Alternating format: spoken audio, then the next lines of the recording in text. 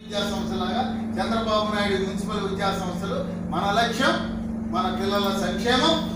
పేదవాడి పిల్లలను ఉన్నత స్థానానికి తీసుకెళ్ళే లక్ష్యంతో మనం పనిచేస్తాం. మన ప్రైవేట్ గవర్నమెంట్లో ఉన్నా కూడా మనం ప్రైవేట్ లాగా పనిచేసే విధంగా మీకు కావాల్సిన చర్యలు తీసుకుంటాం. స్పందించే వ్యక్తులుగా ప్రభుత్వం అంటే కొండరాయి. ఉన్నతాధికారులు అంటే రెండేళ్ళు మూడేళ్ళు. మేము అక్కడ పోయేవాళ్ళం కాదు.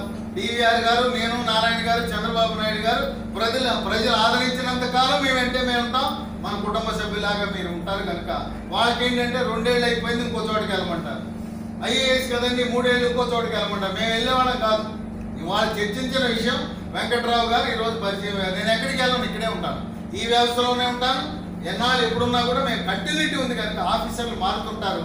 కొత్త ఆఫీసర్ వచ్చినప్పుడు వారి వ్యక్తులు తెలియదు వ్యవస్థ తెలియదు ఏం జరిగిందో తెలియదు కనుక ఇది రెండు వేల పద్నాలుగు నుంచి ఆయన తపన. పదిహేనులో కొంత ఎక్సర్సైజ్ చేశారు జనవరిలో అప్పుడు నేను ఒక ఏడు ఏడు నెలల పాటు ఈ మున్సిపల్ శాఖలో ఓఎస్టీగా పనిచేశాను.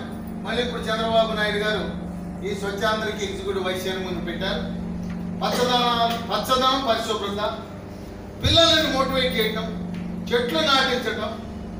తర్వాత నేను ఇంగ్లాండ్ వెళ్ళాక నేర్చుకున్నాను. ఏదన్నా పేపర్ ఉండి డస్ట్బిన్ దొరకకపోతే జేబులో పెట్టుకుంటాను ఈ ప్యాంట్ జేబులోనో షర్ట్ జేబులో పెట్టుకుని డస్ట్బిన్ దొరికేదాకా దాన్ని పట్టుకెళ్ళి అక్కడ లేదా ఇంట్లో ఈ- ఈ చెత్తని ఇట్లా ఉండ చేసుకుని పట్టుకెళ్ళి మా ఇంట్లో వేస్తాను అలాంటి మంచి అలవాట్లు నేర్పించగలిగే శక్తి సామర్థ్యం ఉంది మీరు గురువులు.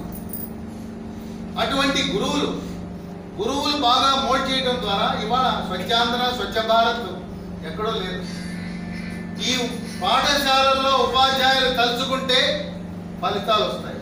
మనం ఎంతమంది జనంకి వెళ్ళి మొత్తుకున్నా పని మీరు పిల్లల ద్వారా తల్లిదండ్రులను ప్రభావితం చేయడం ద్వారా సమాజంలో మార్పు తేవచ్చు. స్వచ్ఛ భారత్ స్వచ్ఛాంధ్ర లక్ష్యాలు నెరవేరాలంటే మీ ద్వారానే సాధ్యం.